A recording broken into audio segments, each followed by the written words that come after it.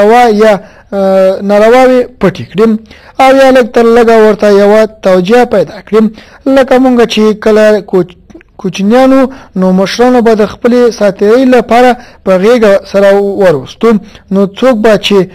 څملاس یو مشر به راغی چې دا صحیح نه ده د هغه خوراکي په خپه پایڅه کې ونه خطا چې بل وار به هم څملاس بیا به ویل نه دا ځل خو وښوید حال دا چې هغه څملول شوی کوچنی به د بل پر وړاندې کمزوری و همدارنګه یو شمېر کسان چې د دولت په مخالف کم کې تنظیم شوی دي هغه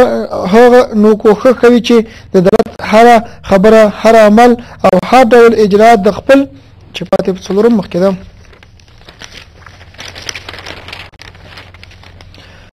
د خپل انتقال تر ساتور لاندې واچوي او هډوکي ښه زره زره کړي نو په نو په دې توګه موږ زیاتره د افراط او تفرید لار نیسو ځکه زموږ زیاتره خپل شخصي ګټې په پام کې وي خو هغه چې په دولتي کم کې دي هیڅ کله په اسانه پر دولت د انتقاد جرات نه کوي او هغه چې د اپوزیسیون له نعمتونو برخمن دي هغه پر اپوزیسیون انتقاد ته زړه نه ښه کوي ښایي مونږ پکې لږ کسان له دې مرضه خوندي پاتې شوي وي نور خو زیاتره په دې رنز اخته یو زما پان دغه ډول قضاوتونه دا که د لیکنو لارې وي او یا په لیکنو رسنیو کې خپرې شي او که د رادیو اوګانو یا تلویزیون لارې وي او په صوتي رسنیو کې خبرېږي یا په صوتي او یا تصویري دواړو کې د ملت کوم درد نشي دوام کولای نه د کومې ستونزې حل لاره پیدا کولای شي زموږ د ټولنې هغه قشر چې په استرا د روښان فکرې ادا لري دا چې د روښان فکر تعریف به پرې څومره صدق وي خو تر ټولو زیات مسئول قشر ګڼل کېږي هغوی روښانفکران باید ټولنه د ګمراهۍ کندې ته ور ټېله نه کړي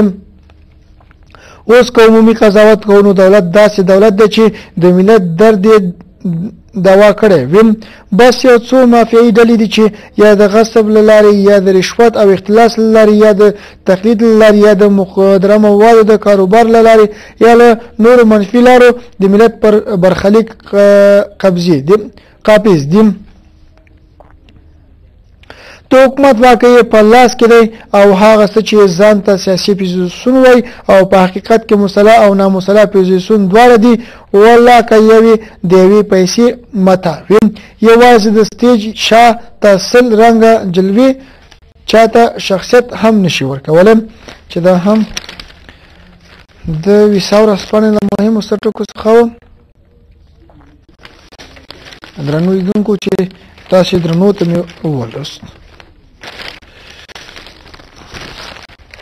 راځو د نوري رسپانې هم ګورو چې په نورو چاپي رسپانو کې څه راغلي او کوم مهم مطلبونه چې راغلي دي زه به دا تاسو ته ولولم او له تاسو سره به شریک کوم ملي باور ورځپاڼه د ملي باور ورځپاڼې لیکلي که د ټاکنو قانون کې پام که د ټاکنو قانون کې پام ونه شینو د هیواد راتلونکی به له ستونزو سره مخ شي د افغانستان یو شمېر سیاسي ګوندونه او مدني ټولنې د دې هیواد د انتخاباتو د قانون په طرح کې باید د انتخاباتو شفافیت او په لا ډیرو اقداماتو او په مختلف مختلف انتخاباتي سیستم ټینګار وکړي د سیاسي ګوندونو او مدني ټولنو استازو د خالي په ورځ په یوه ګډه خبري غونډه کې وویل چې که د دوی د دغو غوښتنو ته د انتخاباتو په قانون کې پاملرنه ونه شي نو د هیواد راتلونکی به له ستونزو سره مخامخ شي د ملي جبهې رئیس وایي چې که د دوی غوښتنو ته پاملرنه ونه شي نو مدني حرکتونو ته به چې پاتې په څلورم مخکې ده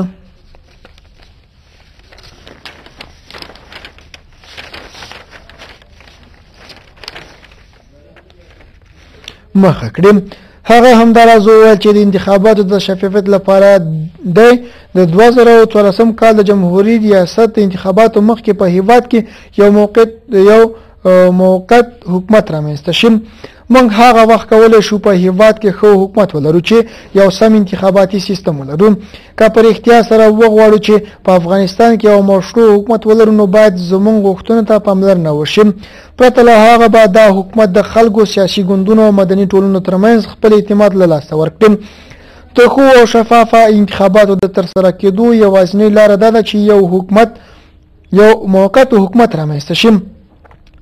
ځکه هغه به د انتخاباتو له پروسې ګت کتنه وکړي او ښه انتخابات به تر سره شي سیاسي ګوندونه او مدني ټولنې دا غوښتنه په داسې حال کې کوي چې د انتخاباتو د قانون نوې طرح د مهال تصویب لپاره په ولسي جرګه کې ده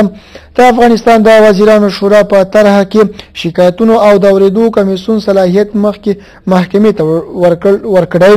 او مختلط انتخابات سیستم لغوه کړی دی چې دا هم د ملي باور له مهمو سرټکو څخه ودرنو لیدونکو ملي باور بیا هم لیکلي د دې ویره شته چې په افغانستان کې د امریکا نور میلیارډونه ډالر ورک شوي وي امریکا له 2009 هم کال څخه تر اوسه پورې د افغانستان پر بیا رغونه 90 میلیارډ ډالر لګولې چې د له دوهمې نړیوالې جګړې وروسته له یو بهرني هیواد سره د امریکا تر ټولو زیاته مرسته ده د امریکا د حکومت پلټونکي وویل پلټونکي وویل د ښو پلانونو او امنیت د نشتوالي له کبله له افغانستان سره د امریکا په میلیاردونو ډالره مرسته کېدلې کېدلی شي ضایع شوې وي د فرانس پریس خبري اژانس د راپور له مخې د افغانستان د بیارغاونې د چارو د څارنې لپاره د امریکا خاص په سر سرپلټونکي جان سوبکو چې ماموریت د کانګرس له لوري تصویب شوی دی د اندېښنې په داسې دا اندېښنې په داسې یو وخت کې سره څرګندې کړې چې د وبخښئ د افغانستان ولسمشر حامد کرزی له امریکایي چارواکو سره په واشنگټن کې په خبرو بوخت دی جان سوبکو د واشنگټن په یو تحقیقاتي مرکز کې چې پاتې په څلورم مخکې ده